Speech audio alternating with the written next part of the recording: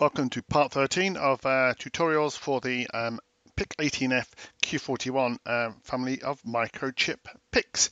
So, um, what have we covered so far? Well, we're well, we're well into two thirds into this.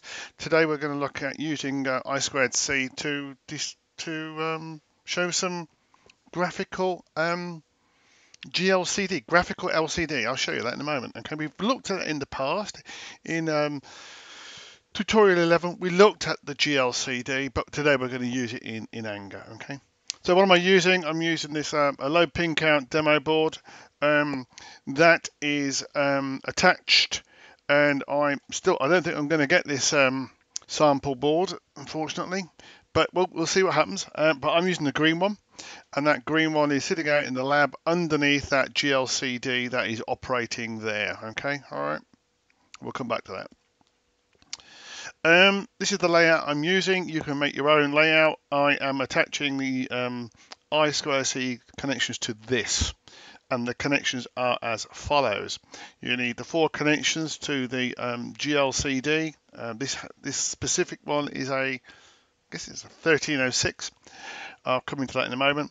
Uh, you need to connect the ground, the VCC, the data. I'm doing that on number three there, and four for is I2C clock. Um, the VCC is dependent. You've got to be very careful with this. Make sure you get the right voltage. Don't over voltage. Don't short voltage. Get it right. Look at the specification for your device.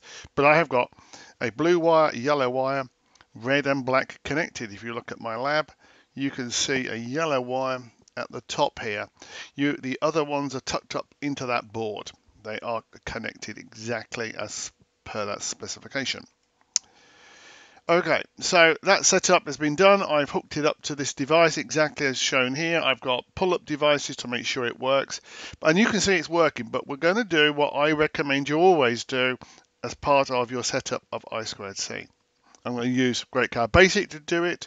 In terms of discovery, I'm going to discover that device. You should always do it regardless using um, maybe an, uh, another discovery device. There are many on the market, but I'm just going to use Hammers. Okay, so I'm going to use I2 um, I2C discovery to, to ensure the setup works.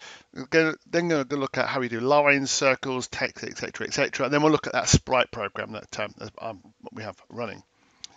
So let's crack over to um, the editor. Uh, let me just get rid of that um, programmer there. So here we are in the editor, and uh, we don't really know whether this thing's working. Let's pretend we don't know it's working, okay? Um, so I'm going to bring in the terminal. I'm going to show us the terminal, and uh, once that terminal's working, then we'll, we'll you know, we'll have a better idea whether we're connected to it. So the program we looked at the other day was um, was let me just get rid of that. That's needed in a moment. Clear that down. So I2 Discovery, that's in the um, suite of programs I have provided to you. Um, get rid of the terminal for a second. Um, and basically, it is it, this is the code I showed the other day. Set up your chip, set up your I, I squared C, set up your serial, and I'm just going to run this program. Okay, I'm just going to run it, and then we're going to look at the terminal to see what it, what actually comes back on the terminal. There's the terminal. I mean, it's just programming it, and it's come. Let's. If you don't believe me, I will just reset that. I will do it again just to make sure you know it's working. Here we go. We now know that our device is on address 78 and 79 um, hexadecimal number. So we know we have a device on there, and that's what we are going to be using. Okay. So if I come across to the um, the device, the, you know, the piece of code I want to walk through is this, okay? If I, let's have a look at what it does, and then we'll explain how it does it. So I'm just programming that up. You can see that it's actually doing it. You can on that screen there. I'll go to the lab and we'll see it. Just pop up some text, and then it will start drawing some uh, primitives, okay? Some text, and now it's doing some primitives. It's drawn some text, some squares, some char- a, a special character, circles, etc., etc., and decimal numbers, etc.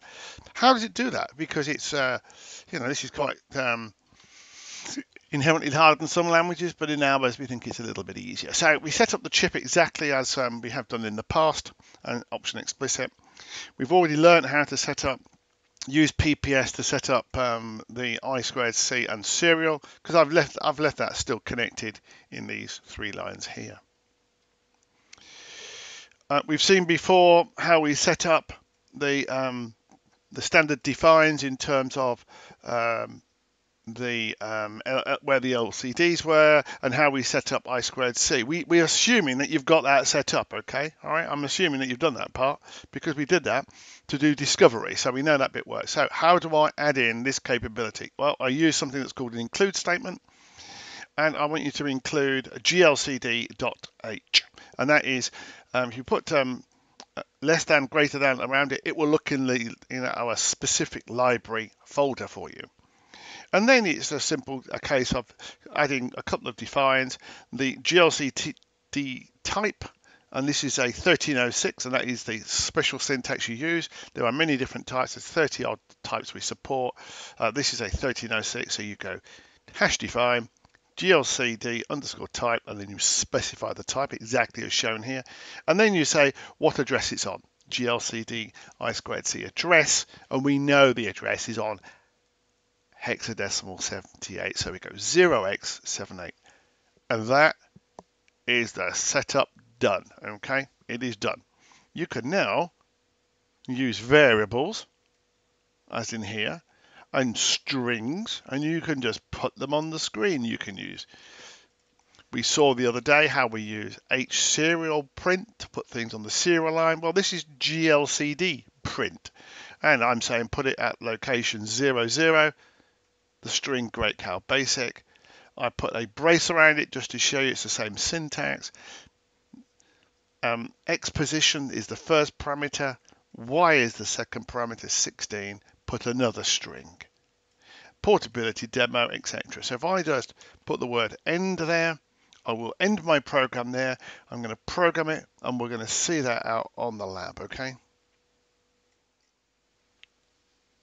It's just programming it now. The programmer flashes beneath us and we can see what we've got on the screen.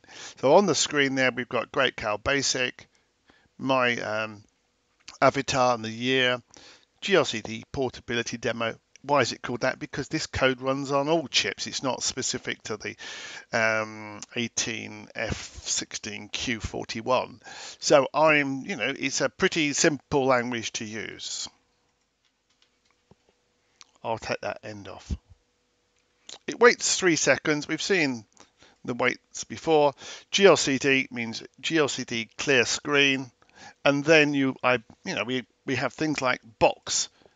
Draw a box. And this is using some constants to draw it around the outside edge. A circle. You give it the x y and the diameter. A line. So these are the basic primitives that we've got. So we've got many different primitives through from sine waves um, uh, triangles, circles, just look in the help under GLCD section and they're pretty extensive. So let's have a look what we've just put on the screen there. That's the text before. And we can see we've now got on the screen some text, a box. There's two boxes, and that was in our source code, a circle and a horizontal line.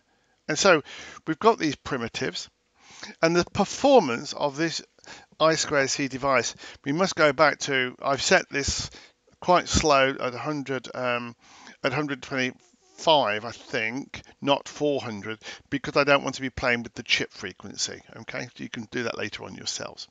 Okay so back to the source code just to see walk that code very simple take out that end statement in the source there I just put in and then there's a forever do forever loop you can see here a do forever loop which is a my favorite way of doing a loop there's an end there. I'll take that out. And basically, he's just going to do some printing. He's going to print some long numbers out. And this shows you how to handle long numbers. We've not seen long numbers before. So a long number is in the range of very big. Okay, so it's a very big number. And you, you can access that by the um, suffix of underscore E underscore U underscore H for the high byte high byte, upper byte, extra long byte. So I'm going to print out a long number in its byte constituents. I draw some boxes, I can draw circles, filled boxes, filled circles, and If I program that up, it's extremely simple. Essentially, all commands are the same. There's a command, a GLCD command, an XY parameter, and then either a number or string. And it's the same really for, for um, filled circles. It's left, left, right, XY, the other XY the, for the extent, and it's very simple language to use. So let's look in on there now. And it's drawing those quite slowly because of the frequency I've set it to. All right, let's look back at some other code. I want to show you some sprites. We've seen the voltmeter before, but let's look at some sprites. Sprites um, are essentially uh, it's a routine that enables you to play a game. And we'll look at what it's doing on the screen there. I'll just turn off that um, programmer.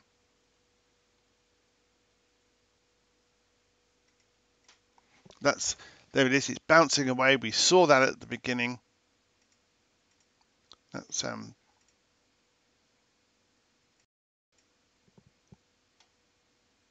no idea why that program was on the screen there. So let's just uh, get rid of that. That will resolve that lot. So how do we actually get that to to, um, to bounce like that? Okay. Well, essentially what we've got is a is a we set up exactly the same in terms of the code segments. It's a very simple do loop look in here. I'll just indent that so you can see it clearly. It's essentially the the programmer of this particular code sets an x or y parameter and draws a circle. And because of the way of the speed of the processor, there is quite a long delay in here to, for um, the delay. So it's essentially a for next loop with an if statement in the middle to draw the cursor. I mean that little bouncing cursor. Let's just see what that um, sprite delay is set to. Two milliseconds. Hmm, let me just uh, set that to zero and we'll have a look what it does, shall we?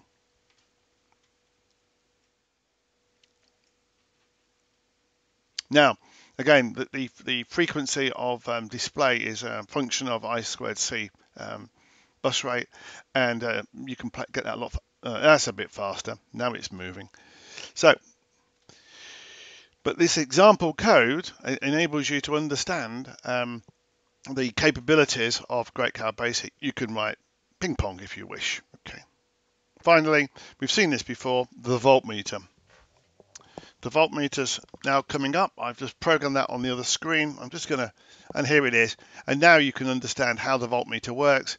It's a box on the outside. It's using trigonometry, the include um, file for the trigonometry. It's using ADC for the um, volts itself and, and some text. And you should be able to walk that code on your own based upon what we've seen in the past. But it's essentially the same program and it's just developing it into a sophisticated um, solution. Well, that's a walkthrough of um, GLCD. That's what I wanted to cover today. Quite simple. Um, we've seen how we created a, we ended up with a simple voltmeter, but it's based upon these middle functions of um, simple primitives of printing out a GLCD printing screen, printing text, printing numbers, printing cons and constants to the GLCD. The libraries handle all that, boxes, circles, and we've seen how we can control positions by using X and Y. And this example shows us, the, these examples show us very well. So I hope um, that makes a lot of sense to you.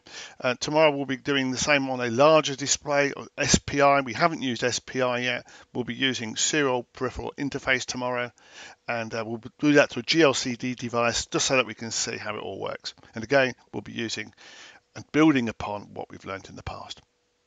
So, enjoy.